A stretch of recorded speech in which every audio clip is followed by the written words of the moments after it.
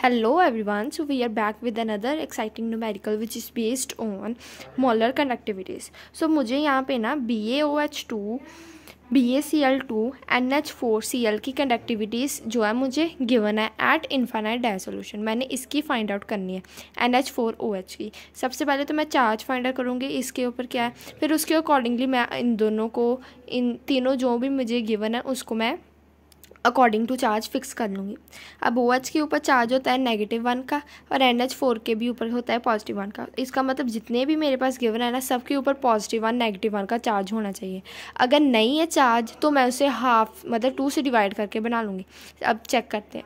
अब ओ H to है। O H के ऊपर नेगेटिव वन का होता है टू है तो इसका मतलब माइनस टू का। और इसके ऊपर प्लस टू का चार्ज होता है। इसका मतलब ये क्या है टू है। मुझे इसे वन बनाना है तो क्या करूँगी मैं इसे हाफ़ कर दूँगी मतलब कि डिवाइडेड बाय टू कर दूँगी।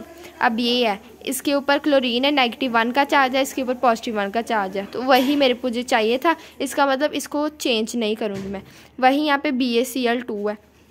क्लोरीन के ऊपर वन का चार्ज होता है माइनस वन का टू है माइनस टू का। इसका मतलब इसका चेंज करना पड़ेगा। तो कैसे चेंज करूँगी? डिवाइड बाय टू करके।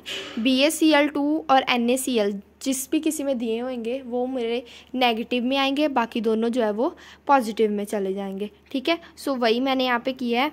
कैलकुलेशन uh, जो वैल्यू दी थी कैलकुलेट करके मेरा आंसर आ गया। Thanks for watching the videos